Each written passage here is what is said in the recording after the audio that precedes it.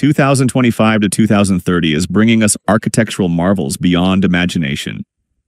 In Riyadh, Saudi Arabia, the Mukaab is set to complete by 2030, a cube-shaped megastructure towering 1,300 feet high and 1,200 feet wide.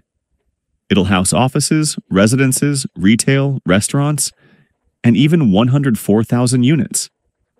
It's part of Saudi Vision 2030 and expected to pump $51 billion into the economy and create over 330,000 jobs.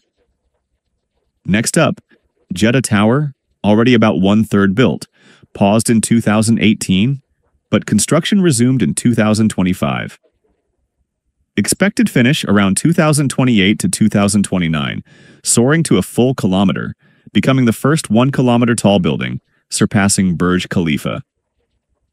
And if that's not enough, Saudi's Rise Tower in Riyadh is on the drawing boards for a truly jaw dropping 2,000 meters, 2 kilometers tall, over 6,500 feet. That would double the height of Jeddah. It's in early design phase, projected start around 2026. Cube, kilometer, or mountain height. By 2030, we'll witness the future, touching the sky in ways we've only dreamed. Which brings you closer to tomorrow?